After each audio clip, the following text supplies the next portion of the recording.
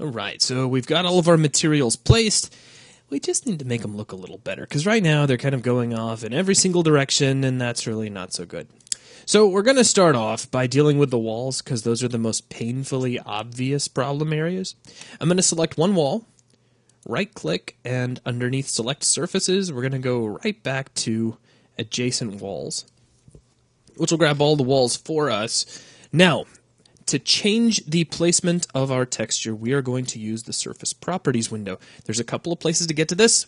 One is to go into the view menu and choose surface properties, or my personal favorite is just to press the F5 key and that'll open it right up for you. Now, to get everybody aligned in the proper direction, we're actually going to do a real quick cheat. We're going to come down to alignment. So here in the alignment group, we're going to select planar and then click apply. And that just lines everybody up. And there's no cheating in production. As long as you get everything done, everything's good. So that's lined up and that was quick and easy. Now, we have some scaling we can apply as well. So I want you to come to the scaling group and we're going to choose simple scaling. And I want you to set this to 4. So we're going to make the texture four times bigger than it is right now.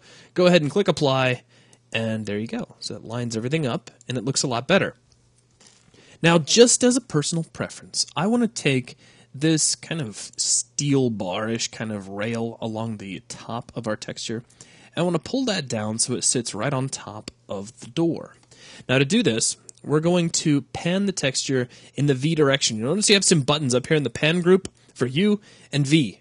And each one of these buttons is going to move the texture that number of units in, uh, well, that number of Unreal units in either U or V, being either horizontally or vertically. So let's go ahead and click on 4 in the V direction, and you'll see that's kind of starting to move that down. If we want finer control, we can switch over to just clicking the 1 button, and that'll just move it one unit. And if you go too far, because I wanted to set that right on top of the door, then you can hold down Shift and then click, and that'll actually slide it in the other direction. So I'm just going to carefully set that right on top of the door, like so. And so that takes care of the walls for us. Real quick, real easy, and everybody's happy. Now let's take a look at the floor. We have a couple of problems with the floor. One is that I think the tiles are too big. Uh, the second is that the tiles don't really line up. If you take a look here, they start to look a little weird, which in a way almost works. The uh, the textures actually tile well enough that if you left it like that, it would just about work out, all things considered.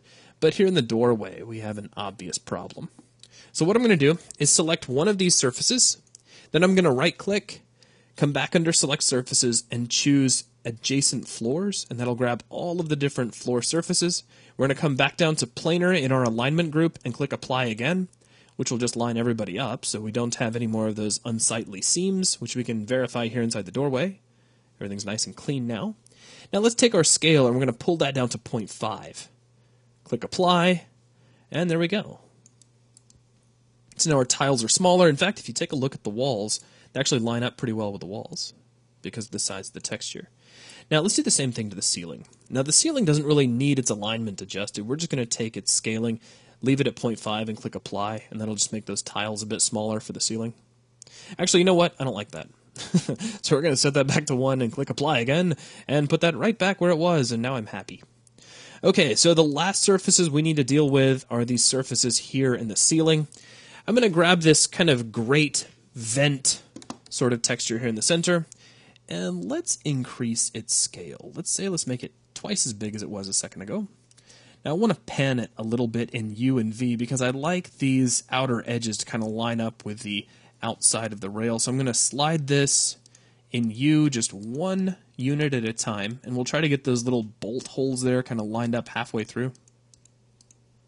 Oh, it went a little bit too far, so let's hold down Shift and click that button again, and that looks pretty good. So now let's move it in V, and I'm going to hold down Shift because it's closer to move it in this direction. And we'll just get it about halfway through, and we can see there's now a nice border all the way around that surface, which looks good. Now, last four surfaces, being these little kind of beveled surfaces, I'm going to hold down Control and select all four, and simply leave my simple scale at 2 and click Apply and just make that texture bigger all around. Now that's really all I wanted to do. Very quick and easy work with the Surface Properties window. So we've aligned all of our textures. Things are looking good. At this point, go ahead and save your level, and then we will continue to move forward.